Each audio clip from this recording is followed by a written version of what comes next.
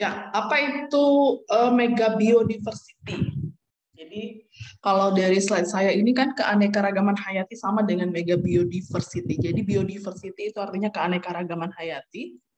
Kalau sudah mega berarti ukurannya uh, besar sekali ya ukurannya ya kan di atas giga itu ya.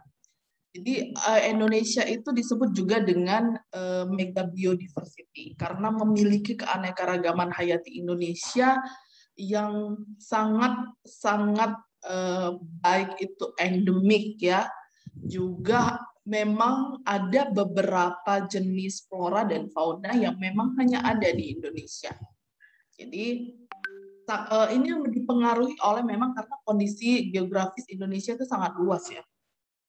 Kalau kita bicara dan terdiri dari pulau, dari Pulau Sumatera sampai ke Papua itu luas sekali gitu ya luas sekali. Jadi itu yang membuat memang juga salah satu bahwasannya Indonesia ini sangat tinggi keanekaragaman hayatinya. Nah, tahukah kamu mengapa keanekaragaman hayati Indonesia disebut mega biodiversity? Dan tahukah kamu jenis hewan atau tumbuhan yang hanya ada di Indonesia? Nah, kita cek. Nah, ini gajah. Apa ini? Badak. Burung apa ini? Burung rangkong ya? Ini apa? Saudaraan sama kanguru, tapi dia bukan kanguru. Nanti kita lihat. Rafflesia. Apa ini? Nah, nah ini adalah eh, salah satu ya salah satu dari beberapa banyak yang lain uh, yang hanya ada di Indonesia itu tadi organisme-organisme yang saya tunjukkan. Anekaragaman hayati di Indonesia itu sangat unik. Kenapa? Karena yang pertama itu anekaragamannya tinggi.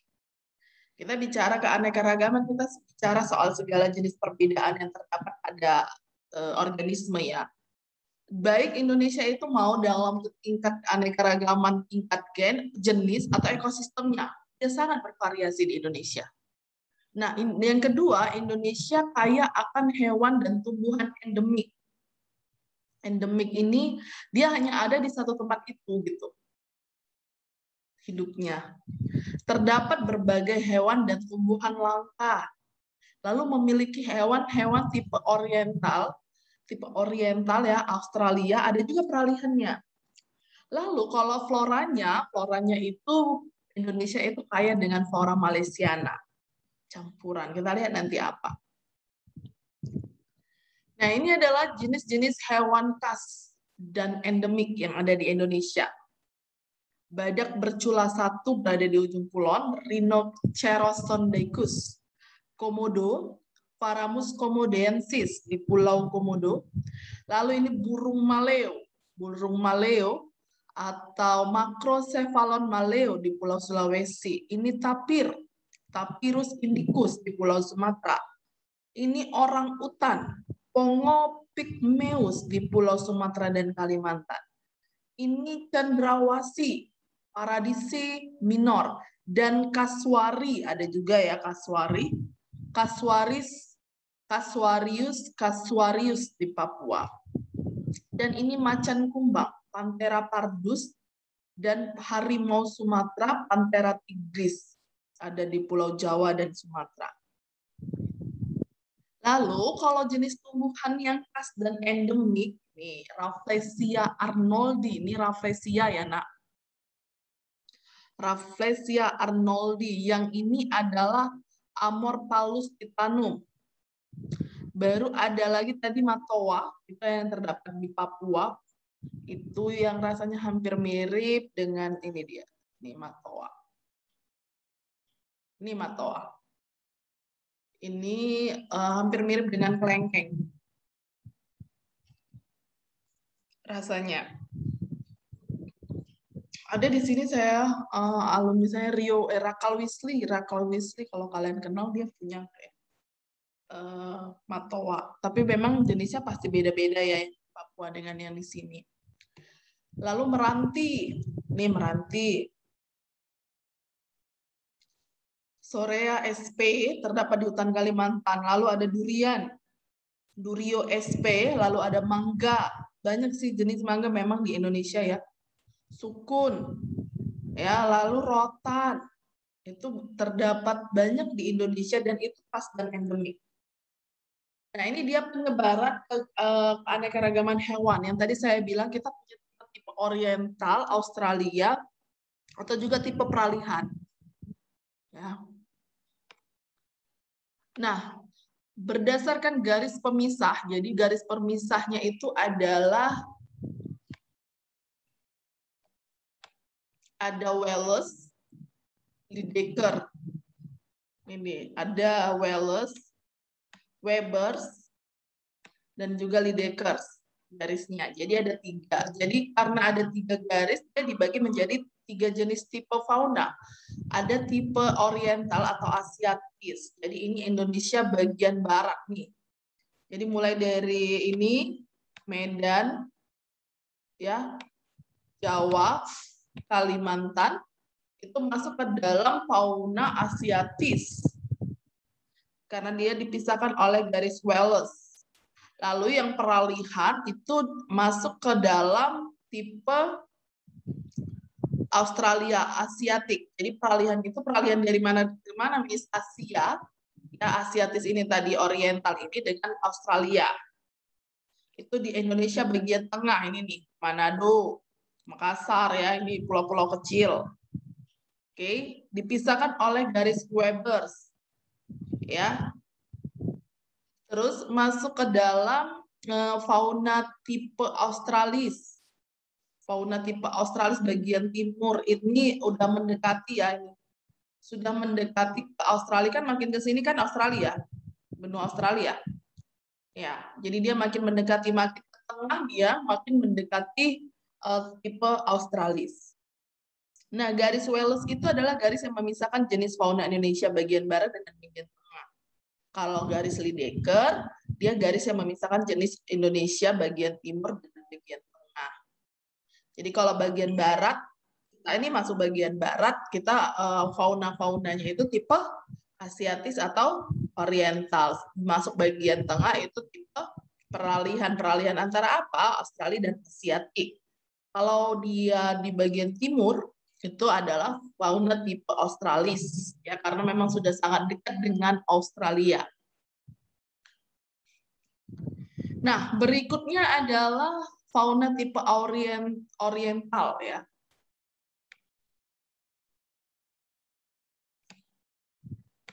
Ada yang saudaraan? Nih senyumnya bagus ya. Si keras senyumnya bagus ya. Tengok ini, dia selfie. Nggak kalian lihat foto dia ini, ha? dia yang paling sadar dengan kamera. Ya kan? Fauna tipe oriental. Ini wilayahnya itu Sumatera, Kalimantan, Jawa, dan Bali bagian barat. nah, yang pertama itu mamalia, dia hewan menyusui. Misalnya itu berukuran besar gajah Sumatera nih. Banteng, nih. Ya, lalu eh, harimau Sumatera ya harimau Sumatera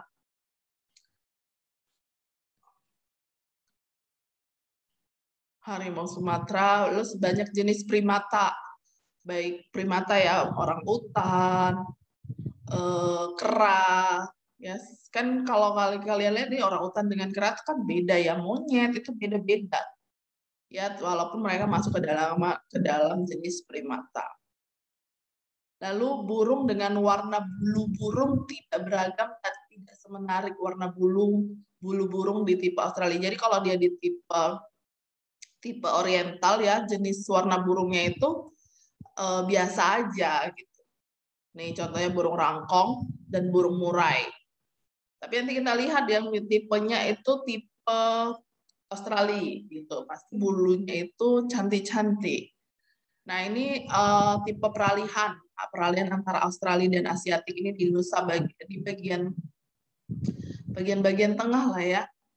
Ini komodo, lalu ini burung maleo, ini dari Sulawesi, kuskus, nih si mata besar si kuskus, ya, kuskus kerdil, nanti ada lagi kuskus yang besar. Lihat ini kakinya seperti eh, berselaput kayak cicak ya kan. Lalu anoa nih, kalau kita lihat-lihat nih anoa kayak kerbau tapi enggak emis gitu. Kayak terjadi persilangan antara kerbau dengan apa ini yang bertanduk kerbau dengan terus badannya kalau nggak pendek gitu. Nah ini uh, namanya anoa, bubalus depressicornis.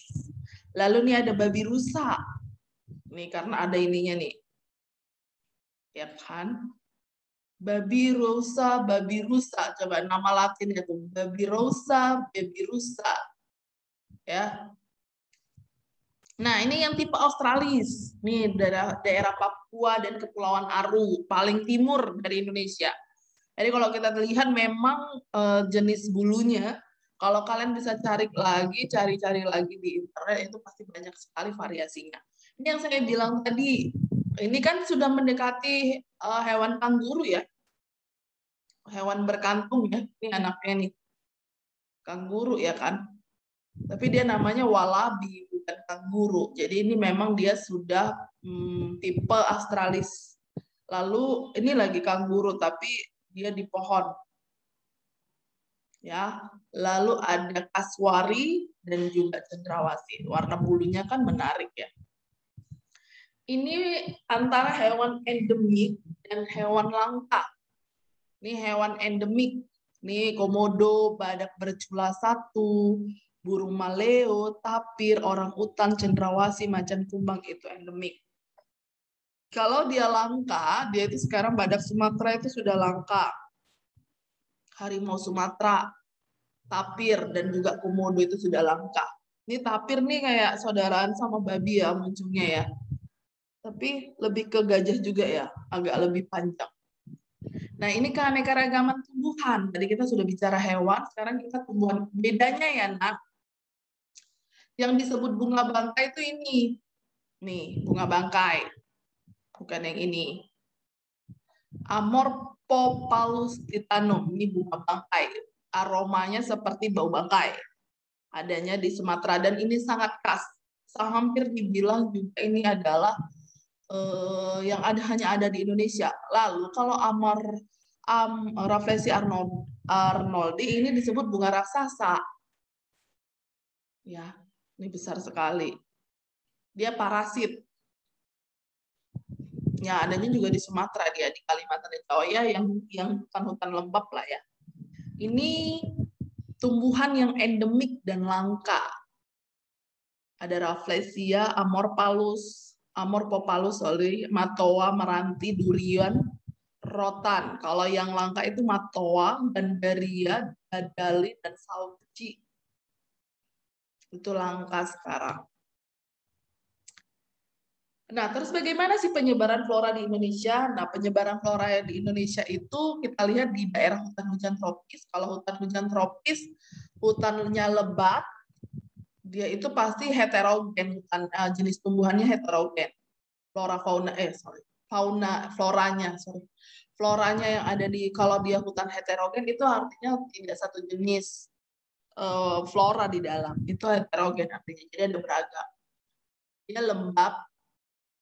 Nah, biasanya nih kalau daerah hutan hujan tropis dan dia bersifat heterogen pasti keanekaragamannya cukup uh, tinggi ya. Daerah hutan musim ini biasanya dihuni, dihuni satu jenis tumbuhan saja, jadi hutan homogen. Seperti jati. Lalu kalau sabana ini adanya di Madura dan dataran tinggi Gayo. Ditemukan rumput yang diselang, diselingi semak-semak atau rumput-rumput rendah. Stepa, padang rumput ini adanya di Pulau Sumba, ya Flores dan Timor. Nih, ini stepa. Ini sabana. Ini yang hutan heterogen. Eh sorry, homogen, satu jenis tumbuhan saja ini homogen. Ini yang daerah hutan hujan tropis nih, pasti di sini keanekaragamannya tinggi. Ya, ini daerah hutan musim, ini uh, stepa, ini uh, padang rumput yang luas. Lalu berikutnya adalah karakteristik flora Indonesia. bagian barat dan Indonesia bagian timur. Jadi kalau di bagian barat itu jenis pohon meranti sangat banyak, tapi kalau di Indonesia bagian timur merantinya sedikit.